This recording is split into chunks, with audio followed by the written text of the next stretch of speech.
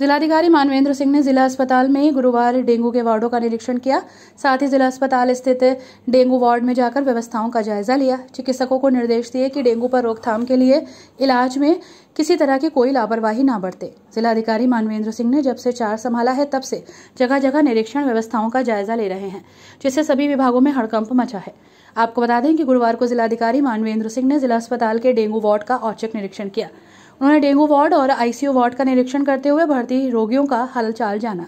अस्पताल में रोगियों के लिए उपलब्ध सुविधाओं की जानकारी ली। Dengue ward deputy CMO Sanjeev Belwan से डेंगू रोगियों के बारे में जानकारी ली। इलाज और दवाओं की उपलब्धता, स्टॉक आदि का निरीक्षण किया। उन्होंने निर्देश दिया कि डेंगू रोगियों को कोई असुविधा ना हो। इसका ध्यान रखें। डॉक्टर ने बताया कि वर्तमान में डेंगू वार्ड जो मरीज़ भर्ती हैं, उनकी संख्या बताएँ। उनके स्वास्थ्य में सुधार है। कई वार्ड बेड डेंगू रोगियों के लिए रिज़र्व है। इस मौके पर CMO doctor Kuldeep Singh, ACMO doctor Rajesh Singh, doctor Kakkar आदि तमाम डॉक्टर्स मौजूद रहे।